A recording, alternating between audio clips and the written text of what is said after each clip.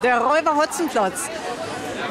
Was löst das Ihnen aus? Was verbinden Sie mit dem Räuber Hotzenplotz, so ganz persönlich? Na, ganz persönlich, ich habe es als Kind vorgelesen bekommen, dann irgendwann tatsächlich den Film mit Gerd Fröbe gesehen als Räuber Hotzenplotz. Und ähm, ich muss gleich den großen Spagat zu heute machen, weil Niki Ovtcharek, der ja wirklich ein herausragender Mime ist, äh, spielt den so zauberhaft, so fantastisch. Und es ist so ein toller Film geworden. Und ähm, ich dachte erst, als man mich gefragt hat, ob ich den Oberwachtmeister Dimpfelmoser geben darf, dass äh, ich das fast nicht glauben kann. Mit so einem tollen Cast sind so tolle Leute dabei. Hier die Kriegeskotte und Christiane Paul und August Diel. Also äh, fantastisch. Es ist ja eine Räubergeschichte. Mal Hand aufs Herz, haben Sie auch schon mal was geräubert, geklaut? Ja, als ganz kleines Kind habe ich mal, äh, da war ich vielleicht, ich würde sagen fünf oder sechs, haben wir in Hamburg-Niendorf gewohnt. Und interessant ist auch Folgendes. Und äh, dort habe ich in einem Laden ein Kaugummi mitgenommen, als der ähm, Verkäufer nach hinten gegangen ist. Und ich hatte so ein schlechtes Gewissen, dass ich das nicht aufgegessen habe. Es lag die ganze Zeit auf dem Tisch. Und dann... Äh, habe ich es wieder zurückgebracht und da auch wieder unbemerkt wieder hingelegt. Also in dieses Fach da vorne. Das war so ein Holzfach und da waren so, ja. Hätte Herrn Wachtmeister Dimpfelmoser gefallen. Aber genau, ja genau. Nee, also sonst eigentlich nicht. Nee. Noch nicht mal eine Idee geklaut. Sehr brav. Ja. Äh, Was macht Ihren Beruf zu ja, dem, was es ist? Vielleicht zu einem Traumberuf? Oha, na das ist ja jetzt eine Frage. Ja, absolut. Also ich äh, bin, bin wirklich froh und glücklich und dankbar, dass ich das machen kann, was ich mache.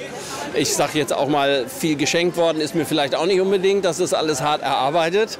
Und ähm, es hört sich jetzt vielleicht abgeschmackt an, aber ich wache tatsächlich jeden Tag auf und, und freue mich, dass es so ist.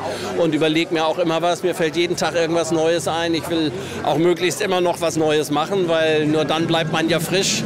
Und äh, das fordert mich auch heraus. Und äh, wie jetzt hier auch beim Hotzenplotz, äh, diese Figur, so eine Figur, habe ich noch nie gespielt. Und das ist toll. Vor allen Dingen eben mit so tollen anderen Kollegen zusammen. Ja, toll. Was tun Sie denn dann für sich, um, um auch fit und gesund zu bleiben? Ach, gute Gedanken und äh, kein Alkohol. Ich rauche nicht, sowas.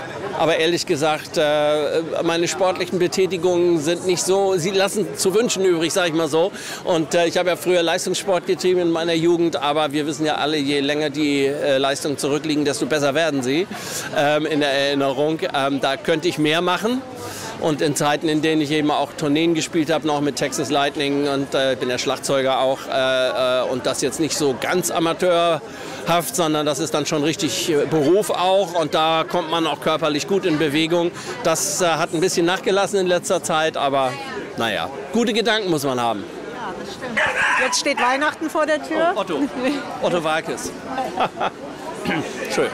Jetzt steht Weihnachten vor der Tür. Wie werden Sie feiern? Ähm, ganz schlicht, klein, kleiner Kreis. Familie. Ja, gibt es besondere Traditionen, irgendwas? alles das, was andere Leute auch kennen. Aber in einem sehr, sehr, sehr zurückgenommenen. äh, Ich mag nicht das ganze Tamtam und so. Und äh, auch wenn im Oktober schon die Weihnachtsbeleuchtung hängt und man kaufen muss, ich finde das so oder so äh, nicht zeitgemäß. Äh, Im Augenblick gibt es wahrlich Menschen, denen es sehr, sehr viel schlechter geht. Und man sollte sich da mal durchaus zurücknehmen und besonders freuen, dass wir heute sowas hier machen können. Dass wir einen Film präsentieren können. Also das ist ja das Paradies. Dankeschön. Gerne.